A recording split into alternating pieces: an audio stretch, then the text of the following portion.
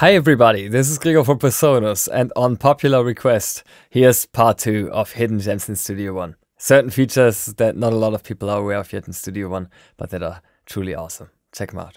First up here, I want to introduce you to the loop symbol down here in the transport bar that you can actually right click and you're going to find a couple of really interesting options here. For instance, you can enable a play start marker, which is really handy. As soon as I do that, no matter where I go, in my playback position here, it will always jump to the point um, where I've set my play marker. This is extremely handy when you're editing a specific part in your vocals, for instance, that you need to get right and you need to start over all the time from the same point. The next option that you have is loop follow selection. And as soon as you enable that, any event that I select is gonna have the loop range set on it. So if that is enabled, you can just start looping a specific section, just click on it.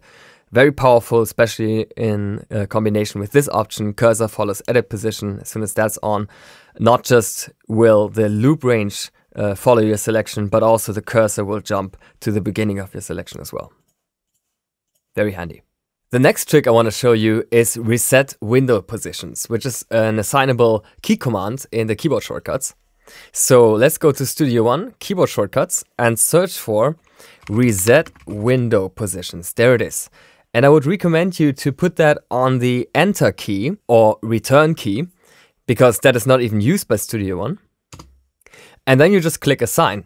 And why is that useful? Well, when you work on different computers and people have different resolutions and things like that, what can often happen is that you try to open a plugin, like so, and you see that the interface of the plugin is actually not entirely visible on your screen. In worst cases, it's actually shifted all the way to here to a point where it becomes difficult to even grab the whole thing, right? So now you have that really handy key command, just hit the enter key once, and there it is back in focus. Next up, I want to show you how you can automate better with this hidden gem in Studio One. So as you probably know, there's a couple of ways that you can add automation to your song. For instance, you can touch your parameter, which is how they all start.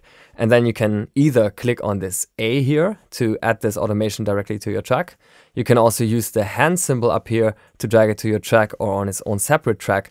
Or you click on this cogwheel uh, on your plugin that you want to automate, and then you drag from here, which is oftentimes a bit faster to do when you're working with a white screen or something like that.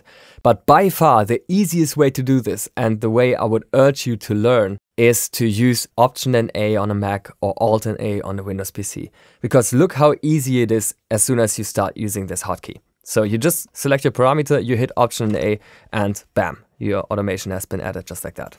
See, how quickly I'm going through here and just add a couple more. And as soon as I expand my envelopes down here, you can see they've all been added to my respective track. It couldn't be faster than that. Speaking of automation, there has been a very quiet improvement to the way we can automate in Studio One, and it was introduced in version 4.6.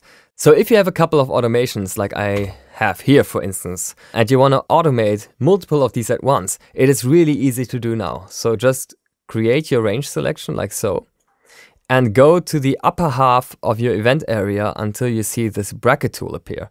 And now you can just click and drag and notice how I'm actually adjusting all of these automations at once now. Of course, this doesn't just work for volume automation, this also works with any other automation that you can imagine.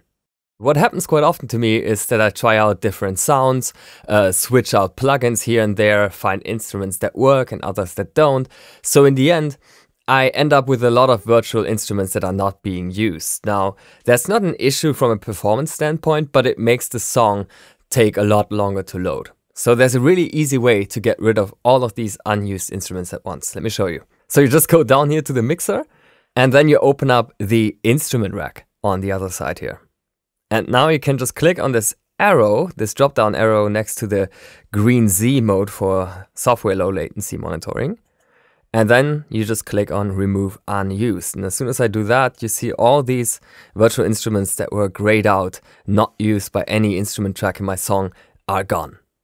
So in this song here, I'm working with different drum elements. I have the bass and the guitars. And let's say I want to do a stem export and I want to render out all the drums separately, but the bass and the guitars I want to send out as one track. So a great way to achieve just that is to just simply select all of my guitars and then go right click, event and mix down selection.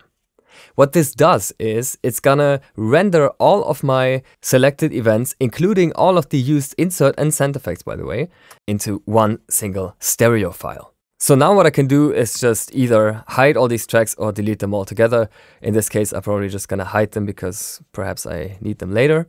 And now I'm just gonna rename this really quickly, both the track as well as the event, by just type in the name. So guitars, and now just shift and enter.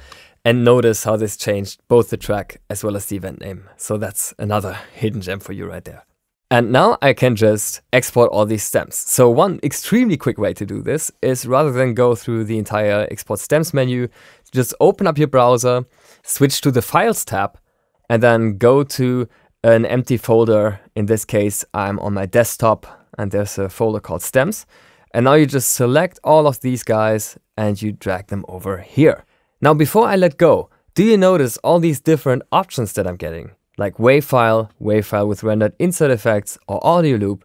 I can actually step through these options with the shift key.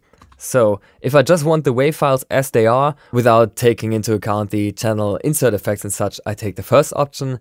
If I want to render these insert effects with the audio stems, then I take the second one. Or if I want to have audio loops to make it compatible for a Studio One sound set, then I choose the audio loops. Now in my case, because we already rendered in the insert effects earlier, I'm obviously going to go for the first option, just the WAV files. And now you can see that Studio One is rendering all of these out blazing fast. Now, when we look at them, they're actually coming out as 24-bit stereo, but let's assume that we want a different bit depth here. Maybe we want to have 32-bit um, float or 16-bit, and that can actually be changed in the song settings. So I'm just gonna delete all of these really quick. So just go to delete file, yep. And now we go to song, song setup, and the bit resolution that is set here is actually the one that will be used for the browser export also. So if I set 16-bit over here and hit apply, you'll notice that next time I do this, these are not 24-bit anymore. These are now 16-bit, right? And that is really, really cool. One thing you want to perhaps take into account when you do this is that you go to the Studio One preferences and just make sure that under audio you have dithering for playback and audio file export activated so that you don't introduce any quantization errors or things like that when you go from 24 to 16 bit.